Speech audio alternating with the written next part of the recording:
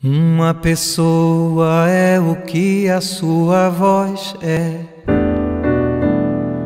No jogo dramático e no canto, o artista também é o que são a sua voz e o seu canto.